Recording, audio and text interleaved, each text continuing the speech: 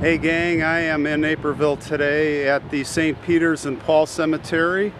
This is the cemetery, actually the same cemetery where Jeanine Nicarico is buried. She was uh, one of the girls that was murdered by Brian Dugan.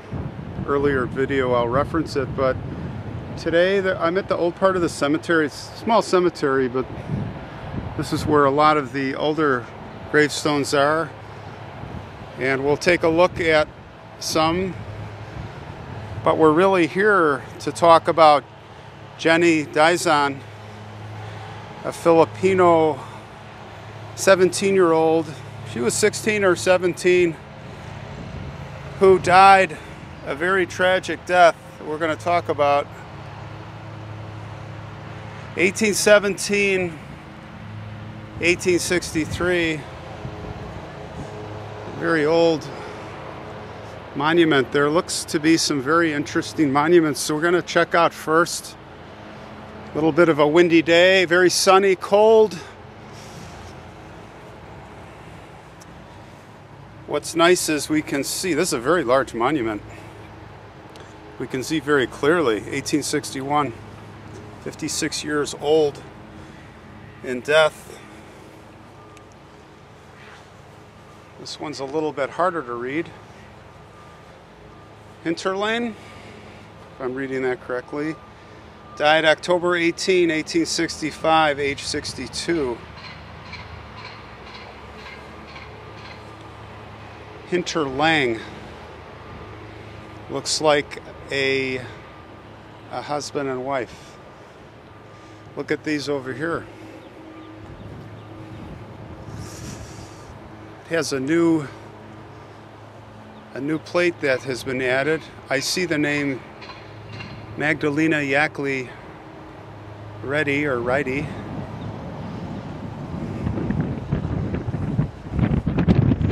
I'll let you read both of those at the same time.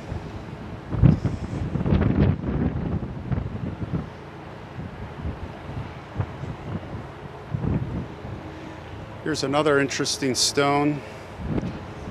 I've seen these before, these type of carvings at uh, Mount Carmel.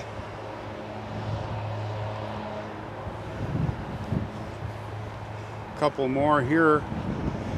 Now the the name Yackley, I I recognize the street. There's a, a big street here called Yackley. So this Helena and John must have been quite notable people here. Helena died February 10th, 1881 at the age of, yeah, I can't see that. I see a two. And John died in 1863. And again, it's really hard. Does that say 17? Age 17? They have both been very young. I don't know. I don't know that that's. I don't think that's a 17. Maybe it's. I think maybe 67. What do you guys think? But the Yackleys, yeah, they're pretty well known here. Let's take a look at. See a couple more here. Can't really read these. This one we can read in 1890. Last name Herbert.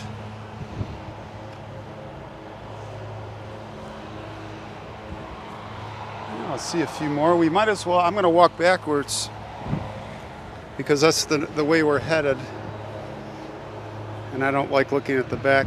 Have you guys look at the back of tombstones.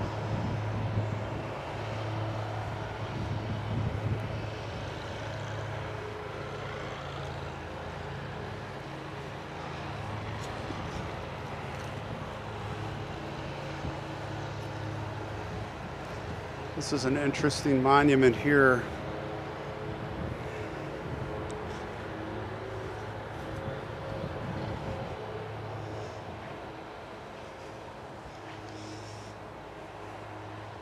Age 59, age 44. Schmeller, it looks like. Peter and wife. Just see a first initial there.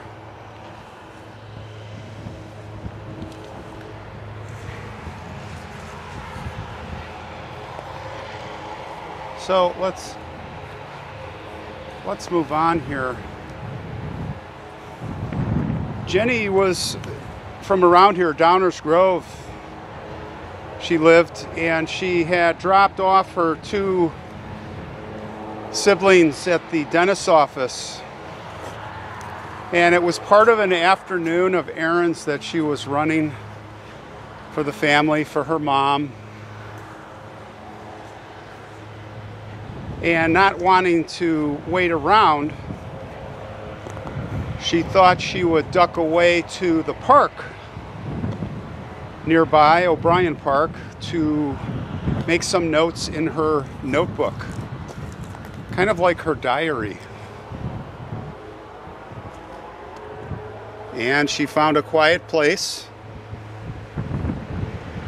and she settled in to make notes about her thoughts, about her life. And as she was doing so, apparently a storm had rolled in. And maybe, you know, sometimes it doesn't take much of a storm. It might just be dark clouds. And then out of nowhere, lightning comes down. And sadly, sadly, that is that is what happened. The lightning just it just it wasn't her time. And if there's any comfort to be taken, which there is little in the story, that she was it was it's kind of poignant, maybe ironic, that she's making notes in the notebook reflecting on her life and her deepest thoughts, writing them down. And in that instant, God, came, God came to take her. Just sad.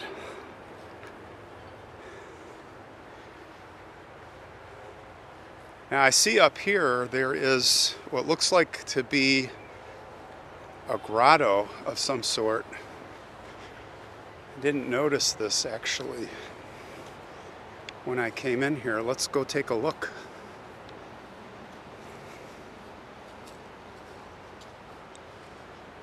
You can see that the tombstones here are,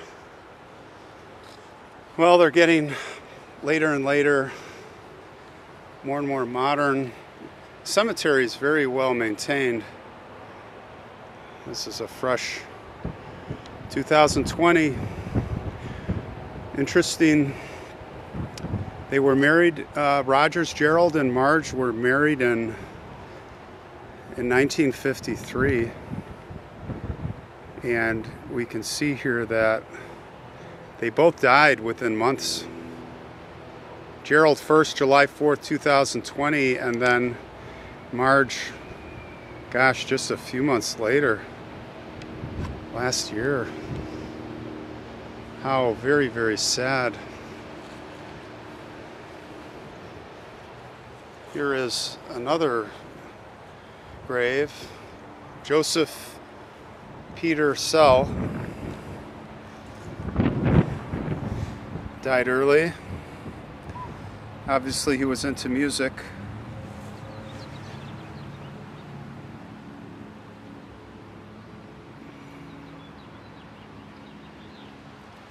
How tragic.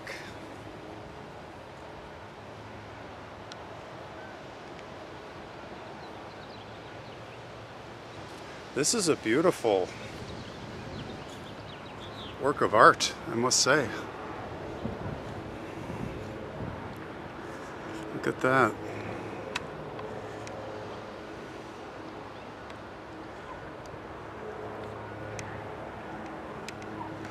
I've often wondered, is this a replica, these grottos are like this? I feel like I've seen this in books where you ever hear the story of Medjugorje, I'm just, I can't remember if I'm pronouncing that, but it's, it's Fatima, the girl, the kids, they saw the presence of the Holy Mother, Mary. Very interesting story. That is, always has intrigued me.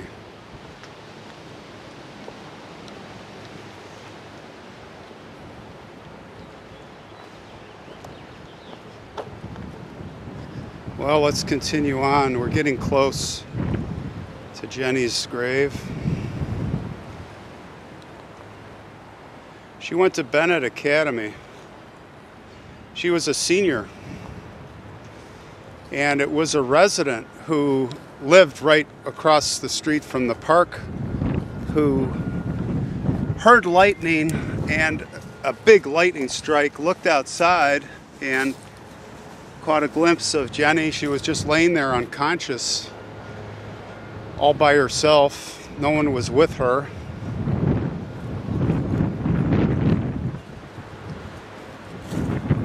It was around 5, 5.20 p.m. on a Thursday where when he called 911, they found her unconscious, unconscious and alone. Of course, the siblings, or at least her sister, was calling her on the phone. She was not answering her phone. So they knew that something something was up.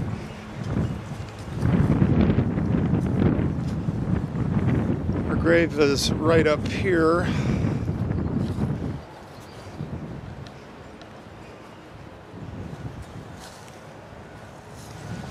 Trying to walk around lot of these graves, yeah. With the Easter eggs right here.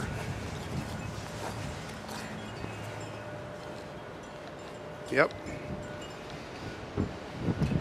Jennie Dizon.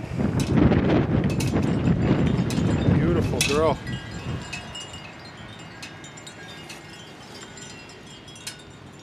Beautiful. Look at that smile.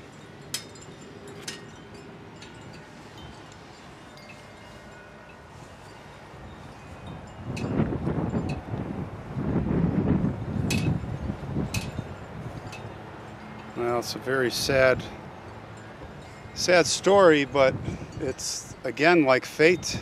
And it happened to be her time. Jennie was described as very bubbly, very vibrant, and sadly, she was only three days away from graduating high school. Her classmates described her as an eccentric and loving girl who loved wearing bright clothes and eyeshadow, and she had a laugh that carried down the hallway. Jennie was also into music, she liked to sing, and she played the ukulele and the piano. Now, her mom had described her as their little angel. Her mom her mom's name is Marietta. She said that Jennie had a golden heart, and whoever she met, she touched their heart.